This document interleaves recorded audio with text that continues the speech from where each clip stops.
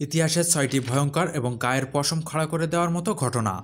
বন্ধুরা, আমাদের আজকের ভিডিওটি এমন সব সত্য ঘটনার উপর নির্ভরশীল, যা জানার পর আপনার রাতের ঘুম উড়ে যাবে। আজ আমরা এমন কিছু ঘটনা সম্পর্কে বলতে যাচ্ছি, যা সাধারণ মানুষের জ্ঞানের বাইরে। আপনি জানেন কি, এমন একজন মানুষ যিনি ভূতের রহস্য খোঁজার চেষ্টা করতেন, কিন্তু তার নিজের মৃত্যুই অনেক রহস্যময় ছিল। একটা এমন জায়গা যেখানে রাতে ডাইনি এসে মানুষের নাম ধরে ডাকে। এছাড়া এমন একটা অদ্ভুত বই যেটা পড়লে মানুষ পাগল হয়ে যায়। এইসব রহস্যকে উন্মোচন করবে আজকের এই ভিডিওটি। তো চলুন বন্ধুরা, শুরু করা যাক আজকের এই রহস্যময় ভিডিওটি। Number six, the crying boy painting বন্ধুরা, একটা এমন মাসুম বাচ্চা যার পেন্টিং মানুষ ঘর থেকে বের করে দিয়েছিল। পেন্টিংয়ের জন্য মানুষের ঘরে আগুন লাগার কারণে পুরো শহরে এর ব্যাপারে সাড়া পড়ে যায়। মানুষ এই পেন্টিংকে অভিশপ্ত মনে করতে শুরু করে। ইটালির মহান পেইন্টার জিওভানি ব্রাগোলিন এই মহান পেন্টিংটিকে বানিয়েছিল। তিনি পেন্টিংয়ের নাম রাখেন দ্য ক্রাইং বয়। উনিশশো পঞ্চাশ সালে বানানো এই পেন্টিংটি এতটা বাস্তবধর্মী ছিল যে এর সব কয়টি কপি দেখতে দেখতে বিক্রি হয়ে যায়।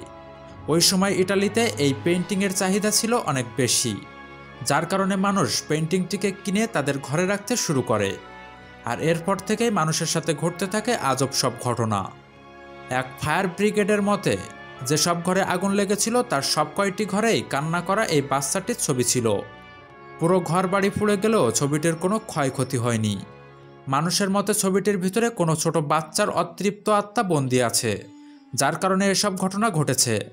এরপর মানুষ এই কান্না করা বাচ্চাটির ছবি বাইরে ফেলে দিতে শুরু করে। পরবর্তীতে ছবিটি সম্পর্কে অনেক টিভি সিরিয়াল এবং ডকুমেন্টারি বানানো হয়েছিল।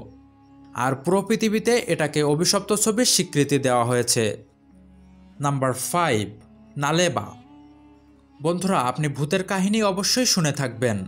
আর এর মধ্যে সবচেয়ে বেশি শুনে থাকবেন ডাইনির গল্প।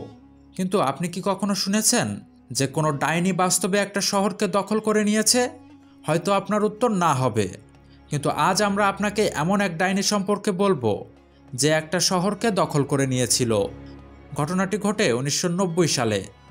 ভারতের কর্ণাটকে অবস্থিত বেঙ্গল শহরকে একটি ডাইনি দখল করে নিয়েছিল।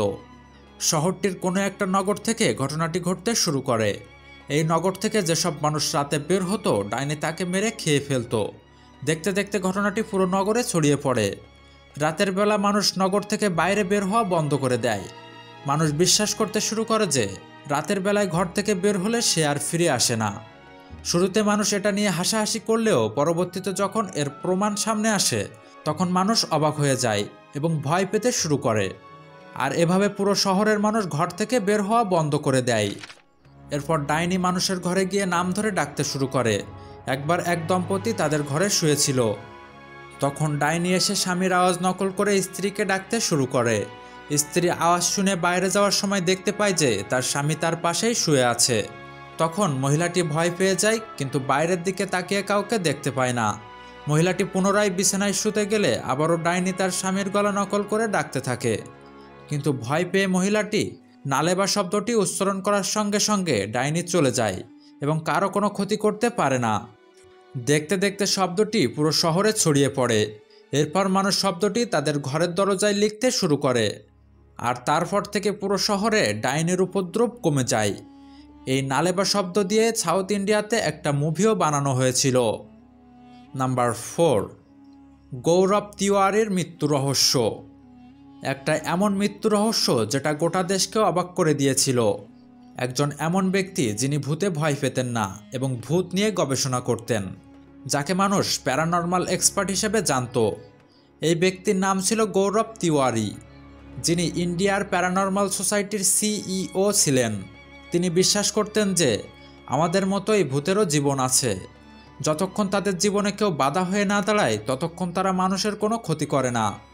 গৌরব তিওয়ারি একবার তার ইন্টারভিউতে বলেছিলেন, অষ্টানব্বই ভাগ ভূতের কাহিনী মানুষের দ্বারা ছড়ানো গুজব হয়। কেবল দুই ভাগ কাহিনী এমন হয় যেটা বাস্তবে ঘটে থাকে। একবার তিনি তার স্ত্রীকে বলেছিলেন যে, কোনো এক অদৃশ্য শক্তি তাকে আকর্ষণ করে এবং তার সঙ্গে যাওয়ার জন্য বলে। সাত জুলাই দুই হাজার ষোলো। এটা ওই দিন ছিল যখন গৌরব তিওয়ারি তার কম্পিউটারে কিছু কাজ করছিলেন। কিছু সময় পর তিনি বাথরুমে যান এবং যখনই নল খুলে মুখে পানি দেন, ঠিক তখনই একটা জোরে শব্দ শোনা যায়।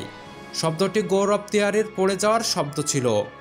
বাড়ির লোকজন শব্দটি শোনার পর গৌরব তিওয়ারির ঘরের দিকে ছুটে আসে এবং দেখে যে গৌরব বাথরুমে অস্বাভাবিকভাবে পড়ে আছে। যখন ডাক্তার তাকে দেখে ততক্ষণ তার মৃত্যু হয়ে গিয়েছিল। অদ্ভুত ব্যাপার হলো, তিনি হার্ট অ্যাটাক করেননি এবং তার শরীরে কোথাও কোনো আঘাতের চিহ্নও ছিল না। গৌরব তিওয়ারের এই রহস্যময় ঘটনাটি আজও পর্যন্ত রহস্য হয়ে থেকে গেছে। Number three, island of death. বন্ধুরা, এমন একটা আইল্যান্ড যেখানে ভূতের ছায়া আছে, যেখানে যেতে ভয় পায় না এমন কোনো মানুষ নেই। বন্ধুরা, ইটালির ভেনিস এবং লিরো শহরের মাঝখানে অবস্থিত পোবেগলিয়া নামক একটা আইল্যান্ড আছে, যেটা মৃত্যুর আইল্যান্ড নামে জানা যায়। আজ থেকে তিন হাজার বছর আগে ইটালিতে ভয়ঙ্কর প্লেগ মহামারী ছড়িয়ে পড়েছিল। তখন যেসব মানুষ মহামারীতে আক্রান্ত হয়েছিল, তাদেরকে এই আইল্যান্ডে রাখা হতো। এখানে আক্রান্ত মানুষদের সংখ্যা বাড়তে থাকে এবং অসংখ্য মানুষের মৃত্যু ঘটতে থাকে।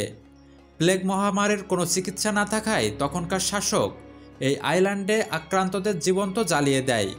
এরপর থেকে জায়গাটিকে ভৌতিক জায়গা হিসেবে মনে করা হয়। পরবর্তীতে সাল উনিশশো বাইশে এখানে একটা মেন্টাল হাসপাতাল বানানো হয়, যেখানে মানসিক রোগীদের চিকিৎসা করা হতো। কর্মরত ব্যক্তি এবং কিছু রোগী জায়গাটিতে অদ্ভুত কিছু দেখার দাবি করতে শুরু করে। এছাড়া এখানে কর্মরত কিছু ব্যক্তি এবং রোগীদের দেহ অদ্ভুত অবস্থায় পাওয়া যায়। তারপর থেকে এই ভৌতিক আইল্যান্ডের নাম চারদিকে ছড়িয়ে পড়তে থাকে। এছাড়া এখানকার সরকার জায়গাটিতে ভ্রমণ করার উপর নিষেধাজ্ঞা জারি করে। সেখানকার সরকার আইল্যান্ডটিকে অনেকবার বিক্রি করার চেষ্টা করে, কিন্তু কেউ এটা কিনতে রাজি হয়নি। কারণ এই ভৌতিক আইল্যান্ড কেনা আর নিজের মৃত্যু ডেকে আনা দুটোই সমান। Number two, Codex Gigas. বন্ধুরা, কোডেক্স গিগাস এমন একটা রহস্যময় বই যাকে শয়তানের বই হিসেবে জানা যায়। বলা হয় যে বইটিকে শয়তান একদিনেই লিখেছিল। বইটির উপর আপনি শয়তানের চিত্র দেখতে পাবেন। যারা বইটি পড়ে, তারা হয়তো পাগল হয়ে যায়, না হলে মারা যায়। বইটির পৃষ্ঠাগুলো কাগজের তৈরি নয়, এবং সেগুলো চামড়া দিয়ে তৈরি। বইটিতে সর্বমোট তিনশো দশটি পৃষ্ঠা আছে, এবং এর ওজন প্রায় পঁচাশি কেজি। বইটিকে সুইডেনের একটা লাইব্রেরিতে সংরক্ষণ করে রাখা হয়েছিল। প্রতিদিন কয়েক হাজার মানুষ বইটিকে দেখার জন্য ভ্রমণ করে। নাম্বার ওয়ান, ব্যারক টানেল তেত্রিশ। বন্ধুরা, ভারতের হিমাচল প্রদেশের সিমলা কালকা হেরিটেজ রেলওয়ে ট্র্যাক পুরো পৃথিবীতে বিখ্যাত, যেখানে দূর থেকে ভ্রমণকারীরা আসে। ব্রিটিশ শাসনামলে তৈরি হওয়া এই রেলওয়ে ট্র্যাকের উপর এমন একটা টানেল আছে, যাকে ভৌতিক টানেল তেত্রিশ নামেও জানা যায়। ব্রিটিশ শাসন চলার সময় এই টানেলটি তৈরি করার দায়িত্ব দেওয়া হয় একজন ব্রিটিশ ইঞ্জিনিয়ারকে, যার নাম কর্নেল ব্যারক। যার কারণে টানেলের দুই পাশে মার্ক লাগিয়ে খনন কাজ শুরু করা হয়। খনন করতে করতে যখন টানেল দুই পাশ থেকে সংযুক্ত হচ্ছিল না, তখন ব্রিটিশ সরকার কর্নেল ব্যারককে বরখাস্ত করে এক রুপি জরিমানা করেন। তখন কর্নেল ব্যারক অনেক হতাশ হয়ে সেখানেই নিজের জীবন কেড়ে নেন। এরপর থেকে এখানে অদ্ভুত কিছু ঘটতে শুরু করে। স্থানীয় মানুষেরা এখানে কর্নেল ব্যারকের আত্মাকে দেখার দাবি করে থাকে। এছাড়া মানুষ এখানে যেতে অনেক ভয় পায়। তো বন্ধুরা, এই ছিল আজকের ভিডিও। ভিডিওটি দেখে আপনার কেমন লাগল সেটা কমেন্টে জানাতে ভুলবেন না। এছাড়া আমাদের চ্যানেলটিকে সাবস্ক্রাইব করে আমাদের পাশে থাকুন।